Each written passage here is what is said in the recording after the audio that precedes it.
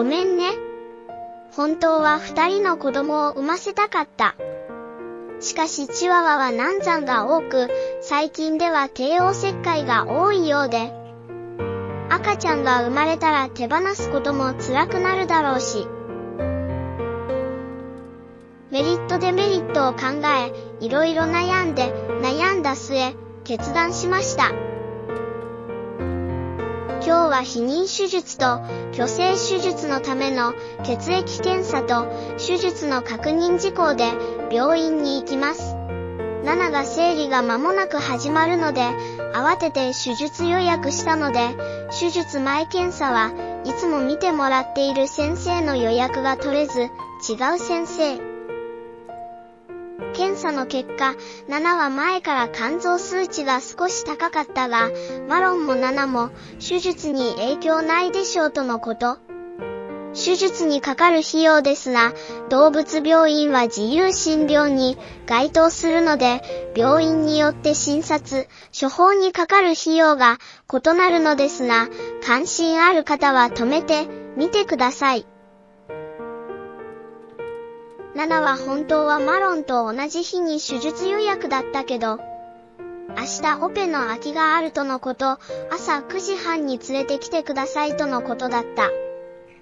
ナナはもうすぐ2歳なのに、乳歯がなかなか取れず、ずっとグラグラしている歯があった。放置すると、食べかすが乳歯と永久歯の間に挟まり、歯垢や歯石が溜まり、歯周病を起こしやすくなるので、やっと抜いてもらえると思った。当日、朝9時半、車の中で7を撫で、ぎゅっと抱きしめた。手術が終わると面会はできる。午後4時頃に確認の電話を入れてくださいとのことだった。飲まず食わずで朝一番に病院に連れて行ったが、お昼くらいには手術してるのかな？だいたい何時くらいなのか？大きい病院で救急対応もされているので、手術時間が未定。7のことが心配で仕方がない。最愛の娘と息子。7は繊細で怖がりで、興奮した時など、強いストレスで、呼吸発作のような苦しそうな逆くしゃみが出る。それに、留守番の時もケージに入れたことがないので、すごく不安で泣いているのでは？吠えているのでは？想像以上に胸が張り裂けそうで辛い。言われていた時間の16時に病院に電話をかけ、すぐ面会に行けるように準備をしていた。すると、これから準備だと思います。手術が終わったら、こちらから電話します、とのこと、さらに待った。電話がなかなかかかってこない。19時になったので、こちらから電話した。手術中で、あと20分くらいで終わりますとのこと。今すぐそちらへ向かいますと言い、車を走らせた。病院に行くと、受付は誰もおられず、奥の方に誰かがいて、面会だったら上です。と遠くの方で声がした。意識が朦朧としているナナがいた。今朝、聞いたのだが、夜は寝てもらう形で20時くらいになると誰もいないとのこと。そういう病院は多いのだろうが、病院が閉まるギリギリに手術が終わったところだ。急に不安が強くなる。麻酔が覚めてパニックになったらくんくん泣く子なので本当は一泊入院で朝に帰れるのだが、連れて帰りますと伝えた。対応してくれた先生は昨日採血をしてくれた先生ではなく、初めての先生であった。ナナのそばにいられてよかった。このまま会えないまま、朝まで心配。ナナも自宅に帰れてきっとほっとしているはず。ナナゆっくり休んでね。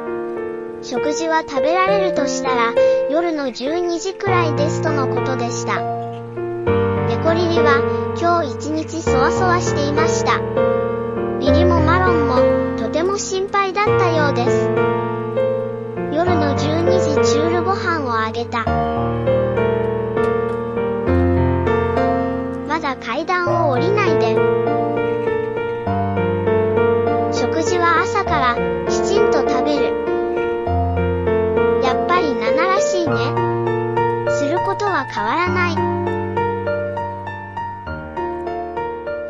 元気になってきて、3日目になるとだいぶ体調が良くなってきた。気になっていたグラグラの乳歯は取れているかな？入試抜歯すると確認書に記載していた。1本は取りましたとのことだったが、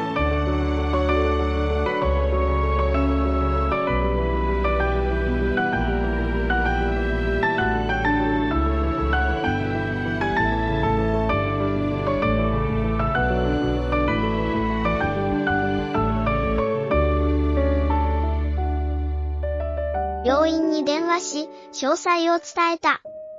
翌日、手術前検査をしてもらった、先生に見てもらった。なんと、歯を見てもらうと、乳歯が3本残っているとのこと。また麻酔をかけるのが心配ですが、大丈夫でしょうか？それでも、抜いた方が良いのでしょうか？麻酔でも色々あるので、対応させてもらいますとのことだった。この後は、はじめに手術予約をしていた獣医が担当します、とのことでした。最初の予定通りに手術をしておけばよかった。焦って手術を早めなければよかった。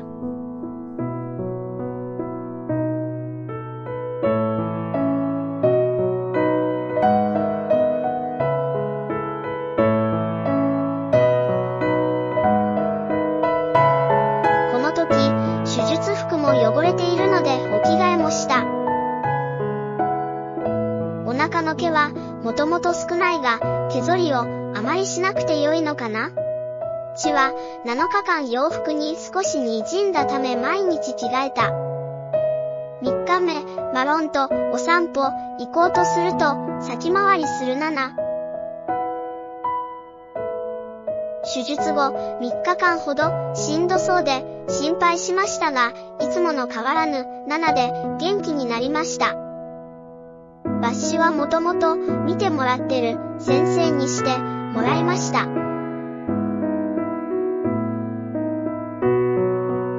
シャンプー後のお腹の傷は？術後少し開いたのか？傷が肉厚に盛り上がって触るとデコボコ。猫リリは2022年5月同じ病院で避妊手術をしました。